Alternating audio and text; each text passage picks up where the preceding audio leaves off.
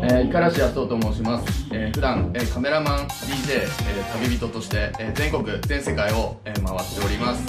えー、その傍ら、えー、フレスコボールのプロ契約もしてんで、えー、アンバサダー、えー、日本代表として昨年、えー、ブラジルの世界大会で優勝しました。これからも頑張っていくのでよろしくお願いします。